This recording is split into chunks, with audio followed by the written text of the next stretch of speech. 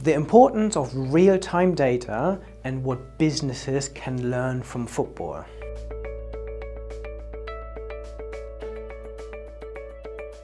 We are currently experiencing a huge transformation in the world of data and AI and sports is no exception. Sports clubs are now using data much more than ever before. And one example is football, or for my American friends, soccer.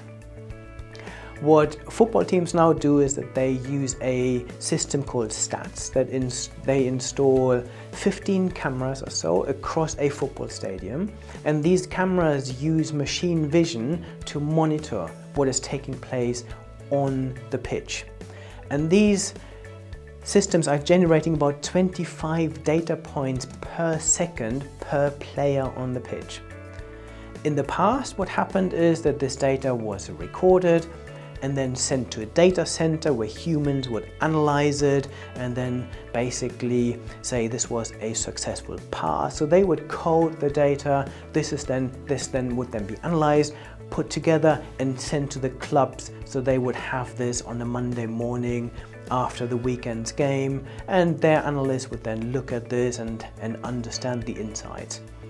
This is all now changing with artificial intelligence because instead of having this sent to a center to be analyzed, machines can now analyze this data in real time.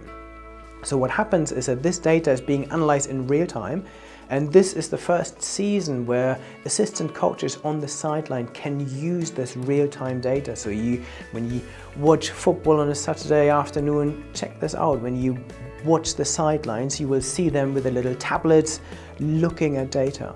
So they can now make real decisions on actual real life data. So this system is giving them information on how many miles or how many kilometers each player has run. And it also measures how fast they've accelerated and de decelerated. And based on all of this, they will, the machines will calculate a level of calorie burn. And they also know how many calories a player has available, so they will see that this player is starting to get to its limit, his limit, and therefore might need to be substituted. So nowadays we make, these coaches make decisions on all of this data in real time.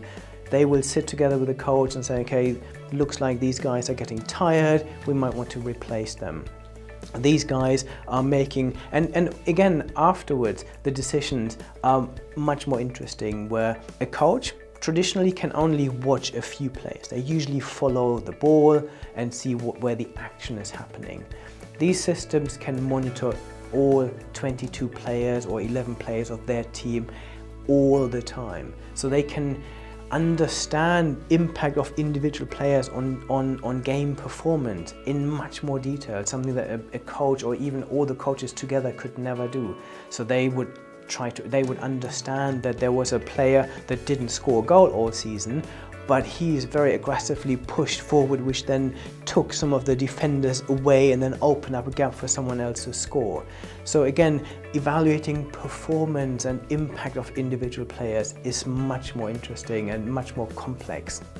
And Again, what Stats is doing now is that they're, they're creating analysis of entire teams and their, their playing philosophy and their, their playing styles, which then allows them to recruit players that really fit into this play, this, this type of play. It allows them to recruit the right coaches for these playing styles too. So this is something that businesses tend to be not great at. They, lots of data is still retrospective data and what I help organizations do is make use of more real-time insights. So this is something actually businesses can learn from sports. If you would like to learn more, head to my website at bernardmarr.com where you can find tons of articles, white papers and videos that will give you a lot more insights into real world case studies and examples.